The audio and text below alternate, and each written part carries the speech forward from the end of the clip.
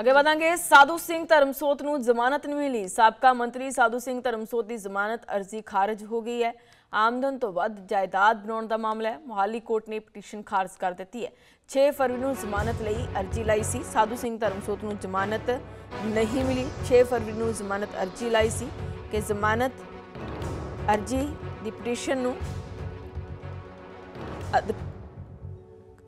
Court ਨੇ ਖਾਰਜ ਕਰ ਦਿੱਤਾ ਹੈ। ਆਮਦਨ ਤੋਂ ਵੱਧ ਜਾਇਦਾਦ ਮਾਮਲੇ ਦੇ ਵਿੱਚ ਸਾਧੂ ਸਿੰਘ ਧਰਮਸੋਤ ਅੰਦਰ ਨੇ। ਸਾਧੂ ਸਿੰਘ ਧਰਮਸੋਤ ਨੂੰ ਜ਼ਮਾਨਤ ਹੈ ਜਿਹੜੀ ਨਹੀਂ ਮਿਲੀ ਕਿਉਂਕਿ ਮਹਾਲੀ ਕੋਰਟ ਨੇ ਪਟੀਸ਼ਨ ਖਾਰਜ ਕਰ ਦਿੱਤੀ ਹੈ ਸਾਧੂ ਸਿੰਘ ਧਰਮਸੋਤ ਦੀ, ਜਿਸ ਦੇ ਚੱਲਦਿਆਂ ਸਾਧੂ ਸਿੰਘ ਧਰਮਸੋਤ ਨੂੰ ਜ਼ਮਾਨਤ ਨਹੀਂ ਮਿਲੀ ਹੈ। ਆਮਦਨ ਤੋਂ ਵੱਧ ਜਾਇਦਾਦ ਮਾਮਲੇ ਦੇ ਵਿੱਚ ਸਾਧੂ ਸਿੰਘ ਧਰਮਸੋਤ ਅੰਦਰ ਨੇ। ਸਾਬਕਾ ਮੰਤਰੀ ਸਾਧੂ ਸਿੰਘ ਧਰਮਸੋਤ ਦੀ ਜ਼ਮਾਨਤ ਅਰਜ਼ੀ ਖਾਰਜ ਕਰ ਦਿੱਤੀ ਗਈ ਹੈ ਤੇ ਵੱਡਾ ਝਟਕਾ ਸਾਧੂ ਸਿੰਘ ਧਰਮਸੋਤ ਨੂੰ ਲੱਗਿਆ ਹੈ।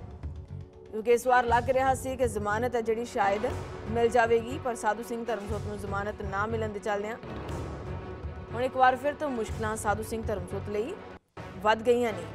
ਲਗਾਤਾਰ ਜਦੋਂ ਤੋਂ ਆਮ ਆਦਮੀ ਪਾਰਟੀ ਦੀ ਸਰਕਾਰ ਬਣੀ ਹੈ, ਕਈ ਸਾਬਕਾ ਮੰਤਰੀ ਜੇਲ੍ਹ ਦੀ ਹਵਾ ਖਾ ਚੁੱਕੇ ਨੇ, ਕਈਆਂ ਦੀ ਅਰੈਸਟ ਹੋਈ ਹੈ। ਤੇ ਸਾਧੂ ਸਿੰਘ ਧਰਮਸੋਤ ਤੇ ਵੀ ਕਈ ਇਲਜ਼ਾਮ ਲੱਗੇ ਨੇ। ਵਜੀਫਾ ਘਟਾਲਾ ਦੇ ਵੀ ਇਲਜ਼ਾਮ ਲੱਗੇ ਸੀ, ਜਿਸ ਵਿੱਚ ਕੈਪਟਨ ਸਰਕਾਰ ਨੇ ਤਾਂ ਕਲੀਨ ਚਿੱਟ ਦੇ ਦਿੱਤੀ ਸੀ। ਉਸ ਤੋਂ ਬਾਅਦ ਹੁਣ ਆਮਦਨ ਤੋਂ ਵੱਧ ਜਾਇਦਾਦ ਬਣਾਉਣ ਦਾ ਮਾਮਲਾ ਹੈ, ਜਿਸ ਦੇ ਵਿੱਚ ਸਾਧੂ ਸਿੰਘ ਧਰਮਸੋਤ ਨੂੰ ਜ਼ਮਾਨਤ ਨਹੀਂ ਮਿਲੀ ਹੈ।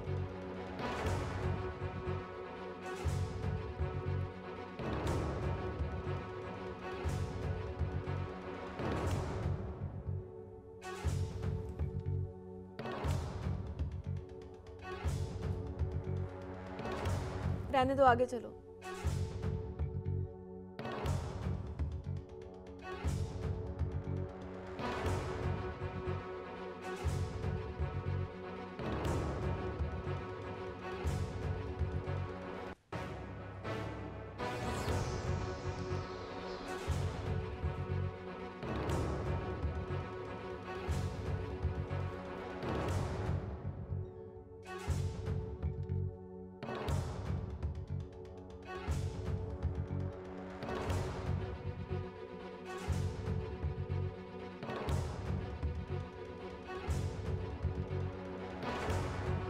ਸਹਿਯੋਗੀ ਪ੍ਰਿੰਕਾ ਮਿਲੂ ਸਾਡੇ ਨਾਲ ਫੋਨ ਲਾਈਨ ਤੇ ਜੁੜ ਚੁੱਕੇ ਨੇ ਗੱਲਬਾਤ ਕਰਦੇ ਹਾਂ। ਪ੍ਰਿੰਕਾ ਸਾਧੂ ਸਿੰਘ ਧਰਮਸੋਤ ਦੀਆਂ ਮੁਸ਼ਕਲਾਂ ਇੱਕ ਵਾਰ ਫਿਰ ਤੋਂ ਵੱਧਦੀਆਂ ਹੋਈਆਂ ਵਿਖਾਈ ਦੇ ਰਹੀਆਂ ਨੇ। ਜ਼ਮਾਨਤ ਅਰਜ਼ੀ ਲਾਈ ਸੀ ਜ਼ਮਾਨਤ ਨਹੀਂ ਮਿਲੀ।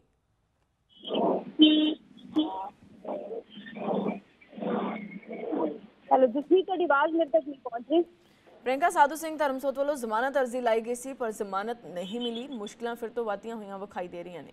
ਬਿਲਕੁਲ, ਅਹ ਜਸਮੀਤ ਮੋਹਾਲੀ ਦੀ ਅਦਾਲਤ ਨੇ ਅੱਜ ਸਾਬਕਾ ਮੰਤਰੀ ਜਿਹੜੇ ਸਾਧੂ ਸਿੰਘ ਧਰਮਸੋਤ ਨੇ 6 ਫਰਵਰੀ ਨੂੰ ਦਰਸ਼ਨ ਦੀ ਆਮਦਨ ਤੋਂ ਵੱਧ ਜਾਇਦਾਦ ਦਾ ਮਾਮਲਾ ਸੀਗਾ ਤਾਂ ਉਸ ਦੇ ਵਿੱਚ ਉਹਨਾਂ ਨੇ ਜ਼ਮਾਨਤ ਅਰਜ਼ੀ ਜਿਹੜੀ ਦਾਖਲ ਕੀਤੀ ਸੀਗੀ ਤਾਂ ਵਿਸ਼ੇਸ਼ ਅਦਾਲਤ ਦੇ ਵੱਲੋਂ ਸੀਆਰਪੀ ਦੀ ਧਾਰਾ 439 ਦੇ ਤਹਿਤ ਜ਼ਮਾਨਤ ਪਟੀਸ਼ਨ ਜਿਹੜੀ ਦਰਜ ਕੀਤੀ ਸੀ ਹੁਣ ਵਿਜੀਲੈਂਸ ਬਿਊਰੋ ਦੇ ਅਧਿਕਾਰੀਆਂ ਨੇ ਦਾਅਵਾ ਕੀਤਾ ਸੀਗਾ ਕਿ 1 ਮਾਰਚ 2016 ਤੋਂ 31 ਮਾਰਚ 2022 ਦੇ ਦੌਰਾਨ ਸਾਬਕਾ ਮੰਤਰੀ ਤੇ ਉਹਨਾਂ ਦੇ ਪਰਿਵਾਰ ਦੀ ਆਮਦਨ 2.33 ਕਰੋੜ ਰੁਪਏ ਸੀ ਜਦਕਿ ਉਹਨਾਂ ਦਾ ਖਰਚਾ ਜਿਹੜਾ ਹੈ ਉਹ 8.76 ਕਰੋੜ ਰੁਪਏ ਸੀ ਜੋ ਕਿ ਉਹਨਾਂ ਦੀ ਆਮਦਨ ਤੋਂ ਬਹੁਤ ਜ਼ਿਆਦਾ ਜਨਕ ਸਾਨੂੰ ਸਰੋਤ ਜਿਹੜੇ ਨੇ ਉਹਨਾਂ ਦੇ ਆਮਦਨ ਦੇ ਸੋਰਸਿਸ ਜਿਹੜੇ ਨੇ ਉਹਨਾਂ ਤੋਂ ਕਿਤੇ ਵੱਧ ਹੈ ਜਾਣੀ ਕਿ 6.48 ਕਰੋੜ ਰੁਪਏ ਵੱਧ ਸੀ। ਤਾਂ ਵਿਜੀਲੈਂਸ ਦੀ ਪੜਤਾਲ ਤੋਂ ਬਾਅਦ ਹੁਣ ਮੋਹਾਲੀ ਦੇ ਵਿੱਚ ਭ੍ਰਿਸ਼ਟਾਚਾਰ ਰੋਕ ਦੀ ਧਾਰਾ 13 ਇੱਕ 20 ਯਾਨੀ ਕਿ 13 ਦੋ ਦੇ ਤਹਿਤ ਕੇਸ ਦਰਜ ਕੀਤਾ ਗਿਆ ਸੀਗਾ ਜਿਸ ਦੇ ਚੱਲਦੇ ਉਹਨਾਂ ਨੇ ਜ਼ਮਾਨਤ ਪਟੀਸ਼ਨ ਜਿਹੜੀ ਪਾਈ ਸੀ ਤੇ ਹੁਣ ਅਦਾਲਤ ਨੇ ਉਹਨਾਂ ਦੀ ਪਟੀਸ਼ਨ ਜਿਹੜੀ ਹੈ ਖਾਰਜ ਕਰ ਦਿੱਤੀ ਤੇ ਅਨੁਸਾਰ ਸਿੰਘ ਅਹ, ਸਾਧੂ ਸਿੰਘ ਧਰਮਸੋਤ ਜਿਹੜੇ ਨੇ ਉਹਨਾਂ ਦੀ ਪਟੀਸ਼ਨ ਜ਼ਮਾਨਤ ਦੇ ਲਈ ਖਾਰਜ ਹੈ ਤੇ ਹੁਣ ਫਿਲਹਾਲ ਉਹਨਾਂ ਨੂੰ ਕੋਈ ਰਾਹਤ ਜਿਹੜੀ ਹੈ ਉਹ ਨਹੀਂ ਦਿੱਤੀ ਗਈ ਠੀਕ ਹੈ ਬਹੁਤ ਬਹੁਤ ਧੰਨਵਾਦ ਤੁਹਾਡਾ ਤੁਸੀਂ तमाम ਜਾਣਕਾਰੀ ਸਾਡੇ ਤੱਕ ਪਹੁੰਚਾਈ